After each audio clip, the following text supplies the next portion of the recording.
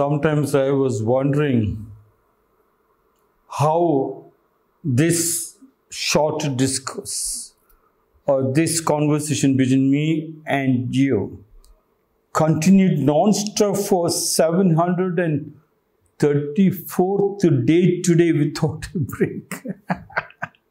Everybody told me, who will listen to you if you talk every day?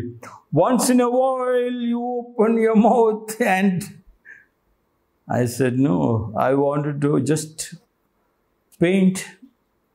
I'm not looking for a buyer. I'm enjoying this paint.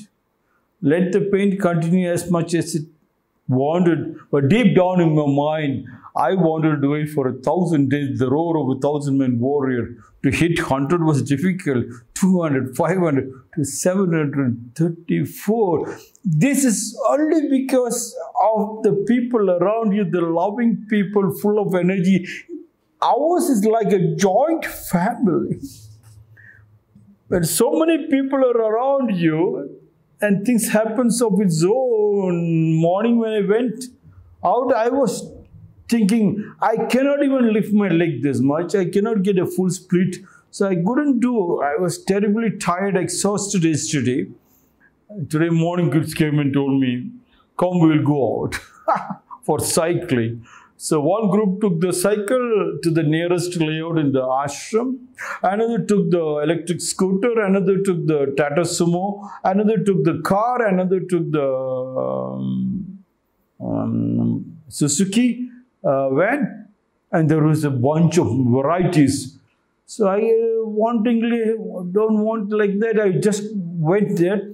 Then I started a little cycling. I started walking and started teaching them the scooter. My PUC kids were there full of energy. They were uh, riding and I was teaching them how to ride. And then there was another IAS students, my postgraduate students, then my married kids. They came with their husbands.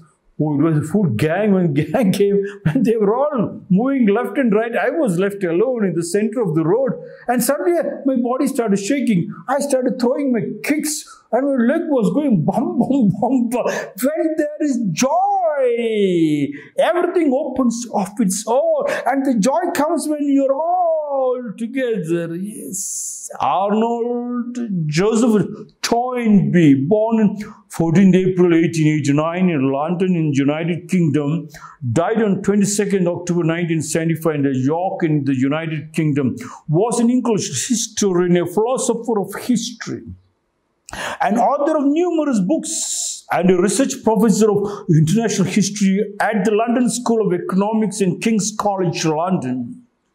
From 1918 to 1950, Toynbee was considered leading specialist on international affairs.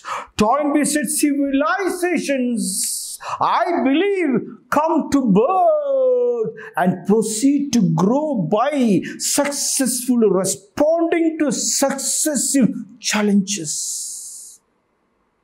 They break down and go to pieces if and when a challenge confronts them, which they fail to meet. They are called the cowards.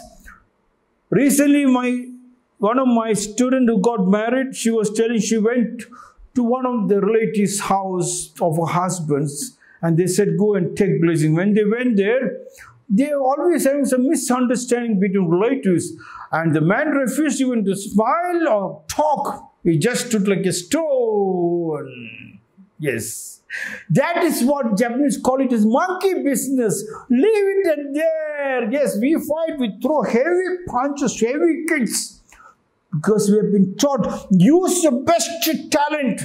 Demonstrate. The other person should never feel sorry because the other person should feel happy that you used your best possible talent, heaviest punches and kicks, so that the opposite partner can go back. If he cannot take that punishment he can go back and do some more push-ups and become more stronger. At the end of the fight they cling together hug together and there is happiness. Arnold Joseph Toynbee says civilizations, I believe, come to birth and proceed to grow by successfully responding to successful challenges. And the smallest thing, they get angry. They don't express, yes. You keep on looking at the stones, yes, and start talking to the stones. Any stone is okay, yes. And then you find varieties of stones, and you keep on looking varieties stones, fall in love variety of stones. One day you see a stone. That stone has got value when you polish it up.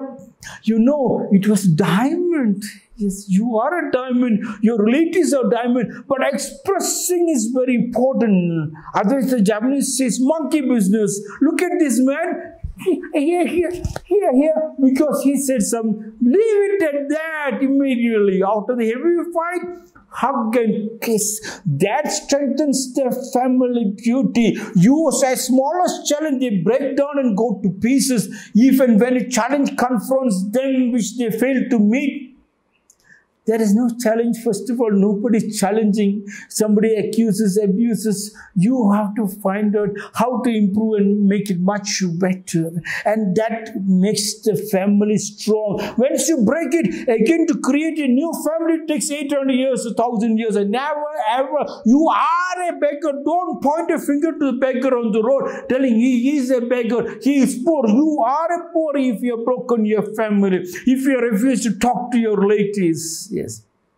Even if they don't talk to you also, keep talking to the plants. Do you think the plants will speak back? So why you get frightened when the relatives don't talk back to you?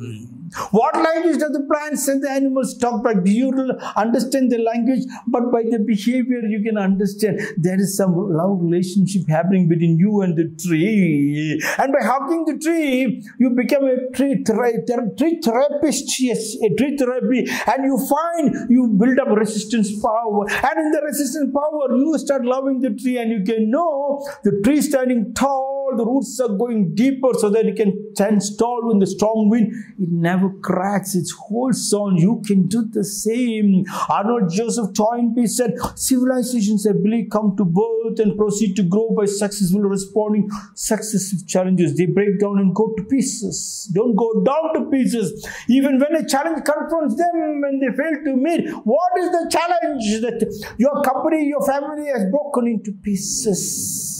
Not because you looked into monkey business, not because you refused to talk to your relatives. It is just because you made your wife a slave. By looking into somebody else, you thought she's a maid servant. Drop that, join together hand in hand. Only positive and negative can create electricity. That love relationship of understanding, like how I went to the field with my children, my PUC children, my postgraduate children, my IAS children, and my just married kids, and they came with varieties of uh, vehicles. And suddenly I found they are all taken, all the vehicles. I'm left in the center of the road. With the happiness, I threw my kicks. My kicks went oh, boom, boom, boom, all the back spinning kicks. Yeah, you can do that. You can enjoy. When others are enjoying, do you feel jealous? First, do that in your house. Love your wife as thyself. Love your family as thyself. Work with them don't consider them as your slaves. Don't ask them to bring this and that together, together, together, work together, wash, together, wash the clothes, together, hug and sleep, together, take baths. Wow, that is the real family. That is the real husband and wife. Otherwise, don't get married at all. Otherwise, they break down and go to pieces. You have gone into pieces like the mutton chops. Not our Shanti, Om Shanti, Shanti, Shanti. Come down to Shanti, to come down to Shanti, husband and wife in equal respect, grow together, cook together. In that cooking, you find a variety of yes, prasada for the gods, variety of ideas. You don't have to become to go to learn from Australia, from London to take MBA. Your master in business administration is right in the kitchen. The master of business is right in your wife. The moment you have disconnected with your wife, yes, it is pieces. And there is chanchala and the family is broken very fast. Yes, talk. Allow her to also to talk. Allow you also to talk. Just to be happy in the family. That is our joint family of India.